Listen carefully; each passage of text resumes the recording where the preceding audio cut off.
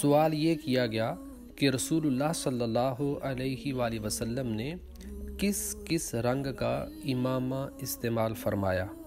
تو اس حوالے سے گزارش یہ ہے کہ رسول اللہ صلی اللہ علیہ وآلہ وسلم سے بلیک، وائٹ، یلو ہرقانی زعفرانی، سرخ دھاری دھار اور سبز رنگ کا امامہ باندھنا ثابت ہے۔ چنانچہ صحیح مسلم میں حضرت جابر رضی اللہ تعالی عنہ فرماتے ہیں، ان النبی صلی اللہ علیہ وسلم داخل یوم فتح مکہ و علیہ امامت سودا یعنی رسول اللہ صلی اللہ علیہ وآلہ وسلم فتح مکہ والے دن مکہ شہر میں داخل ہوئے۔ اس حال میں کہ آپ کے سر مبارک پر بلیک کلر کا امامہ تھا۔ اور طبقات ابن سعد میں ہے۔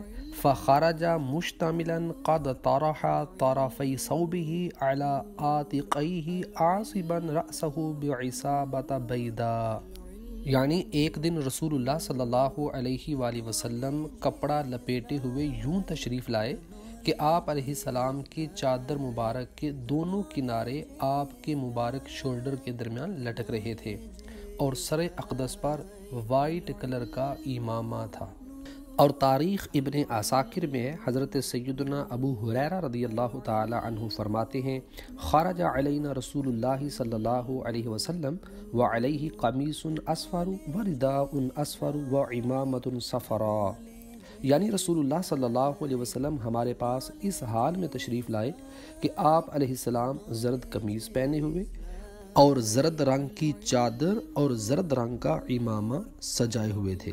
اور سنن النسائی کی حدیث پاک ہے۔ حضرت سیدنا عمر بن حریت رضی اللہ تعالی عنہ فرماتے ہیں رعیت علی النبی کی صلی اللہ علیہ وسلم امامتا حرقانیہ. یعنی میں نے رسول اللہ صلی اللہ علیہ وسلم کو حرقانی امامہ شریف پہنے ہوئے دیکھا۔ اور یاد رہے کہ حرقانی رنگ یہ بلیک کلر سے تھوڑا سا لائٹ ہوتا ہے جیسے آگ سے جلی ہوئی کسی چیز کا رنگ ہوتا ہے، اسی کو حرقانی رنگ سے تعبیر کیا جاتا ہے۔ اور مصنف ابن ابی شیبہ میں ہے، ان نبی صلی اللہ علیہ وسلم کانا یسبہ ثیابہ بالزعفرانی حتی العمامہ۔ یعنی رسول اللہ صلی اللہ علیہ وسلم اپنے کپڑوں کے ساتھ ساتھ اپنے امامے کو بھی زعفرانی رنگ سے رنگا کرتے تھے۔ اور سنن ابو داود میں ہے۔ حضرت انس بن مالک رضی اللہ تعالی عنہ فرماتے ہیں رائیت رسول اللہ صلی اللہ علیہ وسلم یتودع و علیہ امامت قطریہ. یعنی میں نے رسول اللہ صلی اللہ علیہ وسلم کو وضو فرماتے ہوئے دیکھا، اس حال میں کہ آپ نے کتری امامہ باندھا ہوا تھا۔ اور امامت قطریت کی شرح کرتے ہوئے علامہ بدر الدین عینی فرماتے ہیں، ہی ثیاب حمر لہا اعلام فیہا بعد الخشونہ. یعنی کتری امامے سے مراد ایسا دھاری دار سرخ کپڑا ہے جس میں کچھ کھردرا پن ہو۔ اور ضیاء القلوب فی لباس المحبوب میں ہے۔